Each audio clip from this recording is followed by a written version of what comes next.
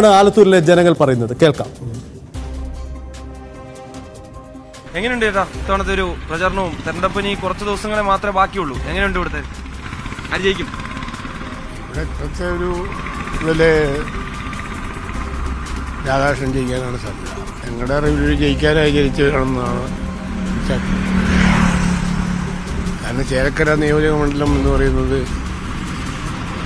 ഏറ്റവും ശക്തമായ പത്തുകൂടി സ്ഥലമൊക്കെ അവിടെ സ്ഥിരമായ കാലമായി കോൺഗ്രസിന്റെ ഒരു മണ്ഡലമായിരുന്നു ആ മണ്ഡലം അദ്ദേഹം വന്ന ഒരു മാറ്റം ഉണ്ടായി. പിടിച്ചെടുത്ത്. അവിടെ നിന്ന് അങ്ങോട്ട് അയാളുടെ ജയിത്രയാത്രയായിരുന്നു അവിടെ അങ്ങോട്ട് എല്ലാ കാലഘട്ടത്തിലും അദ്ദേഹം തന്നെയാണ് ആ മണ്ഡലത്തിൽ ജയിച്ചിട്ടുള്ളൂ അവിടുത്തെ ജനങ്ങൾക്ക് അദ്ദേഹം ഇനി ഇത് മൊത്തത്തിൽ നാട്ടിലെ ഏതോ ഒരു സീറ്റ് വെച്ച് ബാക്കി എല്ലാ സീറ്റും എൽ ഡി എഫ് കഴിഞ്ഞ പ്രാവശ്യം ഉണ്ടായ ഒരു പ്രത്യേക തരംഗം ഇപ്രാവശ്യം ഉണ്ടാകുമ്പോൾ അന്ന് ഇന്ത്യ രാജ്യത്ത് പൊതുവിൽ രാഹുൽ ഗാന്ധി പ്രധാനമന്ത്രിയാകും. അപ്പോൾ ഈ രണ്ട് വർഷം വോട്ട് ഓക്കേ, ചെയ്ത അതായത് ഇത്തവണ മണ്ഡലം നമ്മൾ തിരിച്ചു പിടിക്കും. അങ്ങനെ തന്നെ മണ്ഡലം തിരിച്ചു പിടിക്കും.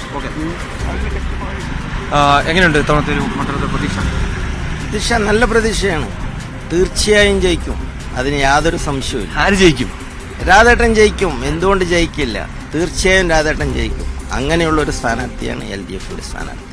വളരെ നല്ല രീതിയിലുള്ള മികച്ച പ്രകടനം കാഴ്ചവെക്കാൻ പാർലമെന്റിൽ പോയാൽ നല്ല മികച്ച പ്രകടനം കാഴ്ചവെക്കാൻ കഴിവുള്ള സ്ഥാനാർത്ഥിയാണ്. തീർച്ചയായും അതിന് യാതൊരു സംശയവും വേണ്ട.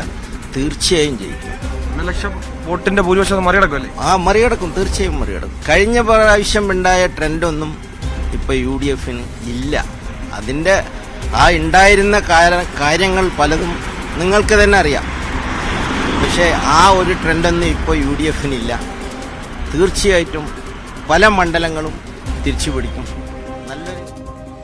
റൈറ്റ് എന്തായാലും ആലത്തൂരിലെ വോട്ടർമാരുടെ പ്രതികരണങ്ങൾ തേടുമ്പോൾ അതിൽ വലിയൊരു ശതമാനവും ആലത്തൂർ തിരിച്ചുപിടിക്കും ഇടതുപക്ഷം എന്നാണ് അഭിപ്രായപ്പെടുന്നത് എന്നാണ്